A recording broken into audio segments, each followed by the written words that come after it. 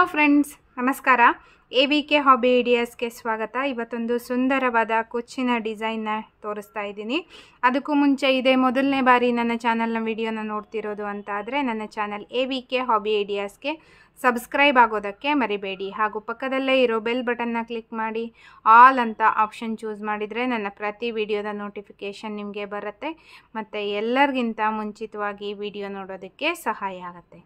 ಬನ್ನಿ ಫ್ರೆಂಡ್ಸ್, ಇವತ್ತಿನ ವಿಡಿಯೋದಲ್ಲಿ ಸುಂದರವಾದ ಕುಚ್ಚಿನ ಡಿಸೈನ್ನ ಹೇಗೆ ಹಾಕೋದು ಅಂತ ನೋಡೋಣವಾ. ನೋಡಿ, ಇಲ್ಲಿ ನಾನು ದಾರವನ್ನು ನಾರ್ಮಲ್ ಸೂಜಿಗೆ ಹಾಕಿಟ್ಕೊಂಡಿದ್ದೀನಿ. ಈ ರೀತಿಯ ಟೆಸಲ್ಸ್ಗಳನ್ನು ರೆಡಿ ಮಾಡ್ಕೊಂಡಿದ್ದೀನಿ ನೋಡಿ. ಆಲ್ರೆಡಿ ನಿಮಗೆಲ್ಲ ನಾನು ತುಂಬ ವಿಡಿಯೋಗಳಲ್ಲಿ ತೋರಿಸಿದ್ದೀನಿ ಇದನ್ನು ಹೇಗೆ ಮಾಡಬೇಕು ಅಂತ. ಮತ್ತು ಈ ರೀತಿಯ ಒಂದು ಬೀಡ್ಸ್ನ ತಗೊಂಡಿದ್ದೀನಿ. ಮತ್ತು ಈ ರೀತಿಯ ಚಿಕ್ಕ ಚಿಕ್ಕ ಬೀಡ್ಸ್ಗಳನ್ನು ತೊಗೊಂಡಿದ್ದೀನಿ, ಗೋಲ್ಡನ್ ಬೀಡ್ಸ್ನ. ಈಗ ಇಲ್ಲಿಂದ ಸ್ಟಾರ್ಟ್ ಮಾಡೋಣ.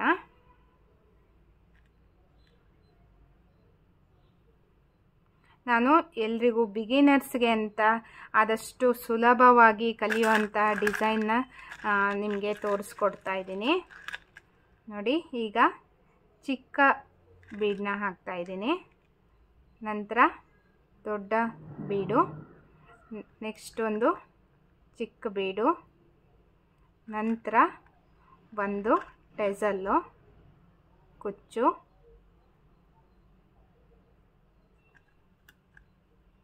ನೆಕ್ಸ್ಟು ಒಂದು ಚಿಕ್ಕ ಬೀಡು,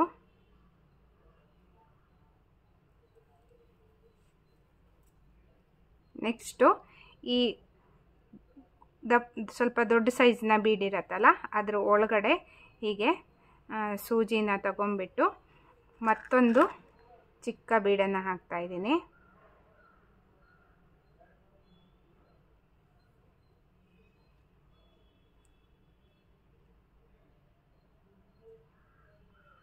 ನಂತರ ಬಟ್ಟೆಗೆ ನಾಟನ್ನು ಹಾಕ್ಕೋಬೇಕು.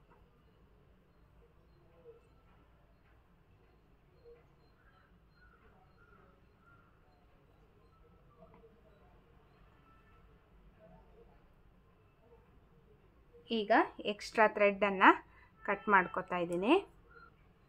ನೋಡಿ, ಇಷ್ಟ ಆಯಿತು. ನೆಕ್ಸ್ಟು ನಾನು ಒಂದು ಇಂಚ್ ಗ್ಯಾಪ್ ಬಿಟ್ಟು ಮತ್ತೆ ಇಲ್ಲಿ ಹಾಕ್ತಾಯಿದ್ದೀನಿ ಫಸ್ಟೇ ಸೀರೆಗೆ ಹಾಕೋದಕ್ಕೆ ಆದರೆ ಫಸ್ಟೇ ಮಾರ್ಕ್ ಮಾಡಿಕೊಂಡು ಇಟ್ಕೋಬೇಕಾಗತ್ತೆ. ನಾನು ಆಲ್ರೆಡಿ ಒಂದು ವೀಡಿಯೋದಲ್ಲಿ ತೋರಿಸಿದ್ದೀನಿ ಹೇಗೆ ಮಾರ್ಕ್ ಮಾಡ್ಕೋಬೇಕು ಅಂತೆಲ್ಲ. ನಿಮಗೆ ನೋಡಿದರೆ ಕರೆಕ್ಟಾಗಿ ಗೊತ್ತಾಗತ್ತೆ. ಈಗ ನೋಡಿ ಒಂದು ಚಿಕ್ಕ ಬೀಡ್ ಹಾಕಿ, ಮತ್ತೆ ಒಂದು ದೊಡ್ಡ ಬೀಡು. ನಂತರ ಒಂದು ಚಿಕ್ಕ ಬೀಡು.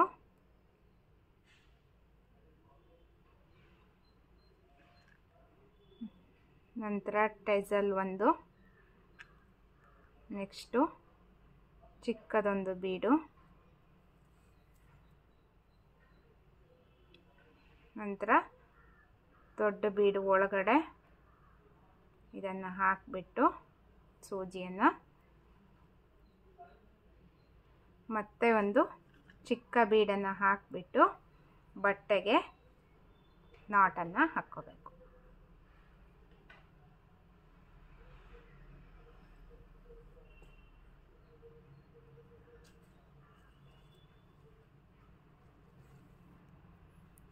ನೋಡಿ ಎಕ್ಸ್ಟ್ರಾ ಥ್ರೆಡ್ಡನ್ನು ಕಟ್ ಮಾಡ್ಕೊಂಡಿದ್ದೀನಿ ಇದೇ ರೀತಿ ನಾನು ಕಂಟಿನ್ಯೂ ಮಾಡ್ತಾ ಇದ್ದೀನಿ.